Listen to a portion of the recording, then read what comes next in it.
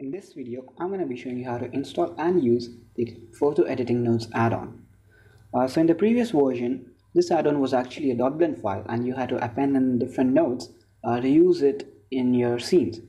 But uh, since version 3 of this add-on, uh, it's uh, the .blend file has been converted to an add-on and uh, it's much more easier to use rather than appending in different nodes every time you create a scene in Blender so now it's an add-on and in this video I'm going to be showing you how to install it and a few uh, changes uh, to this add-on. So uh, once when you have downloaded this add-on file you'll get this uh, zip file over here called photo editing nodes extract.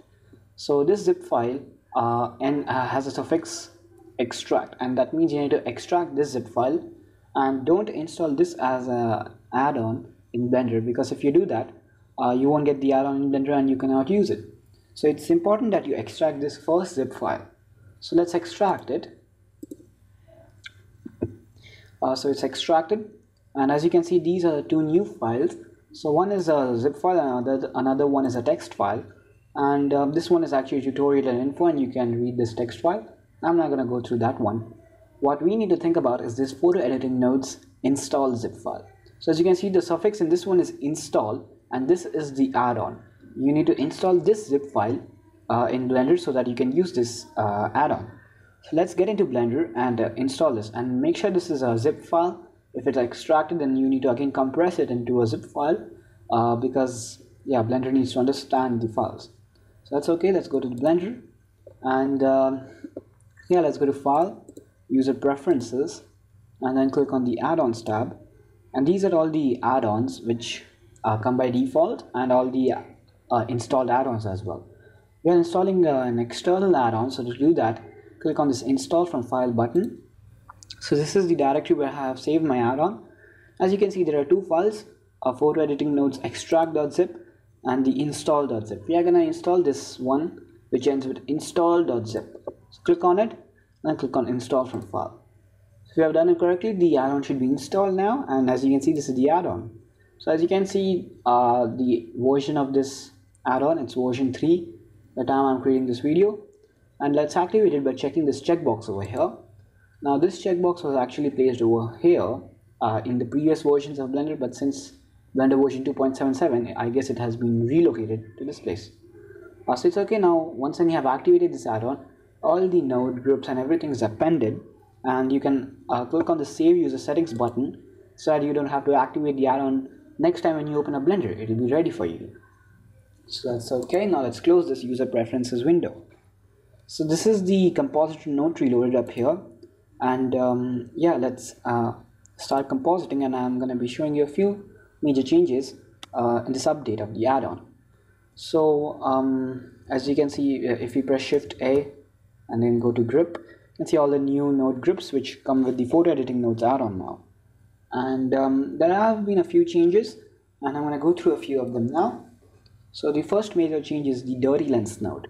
This node was added in the previous version and in the version 3 it has been updated a lot and um, actually it has been recreated from scratch so it's much better now it's much simpler and it's much more better. So basically if I just add in over here as you can see this is the effect what it uh, gives actually add uh, adds some kind of scratches droplets and all those uh, dirt uh, onto your render. Now you might be wondering why is it important to add all these scratches to your render? Well it's kind of important for some renders and um, it, it does look good in some cases. As you can see the opacity is now 0.5 but if I decrease it um, it, it looks better. It's not looking that good in this render but it looks good in some environment scenes or in some dark scenes as well. So it's much better now. And um, previously it was a bit different. Now it's completely changed and it, uh, its functionality is much more better now. So as you can see the color of the overlay this, there's a value called color overlay. And you can change the overlay color to something white. So as you can see this is the white. And now I'll decrease the opacity a lot just to get some better scratches I believe. Should be fine. It's looking good and you can use different color but I recommend you to use the black color for this. Uh, so that's good. And then we have the scratches value. So actually this dirty lens node has two types of scratches or dirt which uh, which it adds onto your render. So if we make the scratches value 0 you can see uh, one type of scratches. If I make this opacity 0.5 you can see all these kind of scratches on the render. If I change the scratches to be 1 you can see the other kind of these scratches so basically I'm gonna keep it to be 0.5 to use both of these scratches. And um, yeah that's actually the default value. So that is how you can control these scratches. And finally we have the opacity to control the opacity of the color overlay and the scratches and stuff. So one is very very strong. Probably you don't want that. I guess 0.5 and a bit more less than 0.5 should be fine. So that's the dirty lens node. Really really simple to use and it's it looks good as well.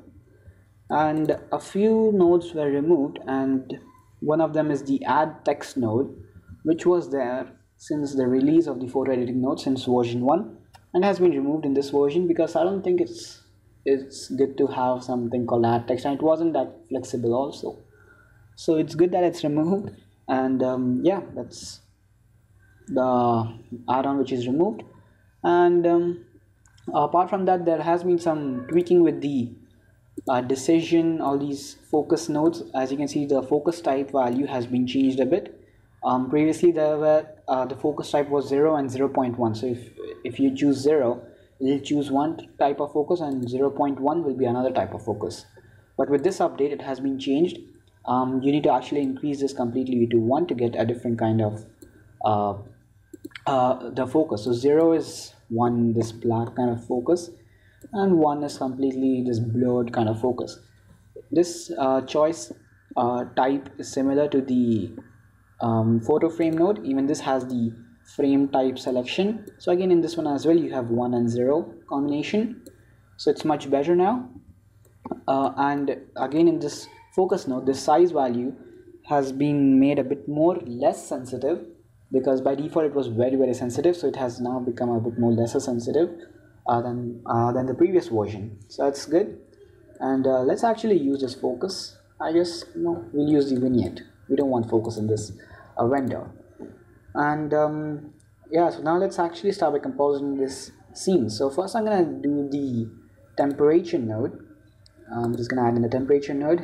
Decrease the coolness to be 0 warmth I guess 0.5 is fine and um, yeah again one new uh, thing we can see over here is the new sketch node. This is actually uh, an old node uh, which was actually uh, in version 1 it was named sketch. In version 2 it was named find edges. And in version 3 again I have named it to be sketch. And uh, yeah that is actually what it does. Converts your render into a sketch. So I guess that's good. However we don't want this in this scene now. So I'm gonna remove it the next thing which we're going to add is vignette. So this is the vignette node. I'm gonna add it in. That's fine. And um, what else can we do? We have this film grain node. We can add in some film grain. Top of the render. I don't think it's looking good in this render. It, it looks good in some other renders as well. Um, so that's pretty much it. And um, yeah that's the basic update of this add-on and the main update it was uh, the main update was basically converting the blend into this add-on file. So that's pretty much it with the uh, with the photo editing nodes add-on now. And hope you find this update useful. And um, yeah thanks for watching. And if you have any other questions you can contact me. And uh, I'll be happy to help you. So thanks for watching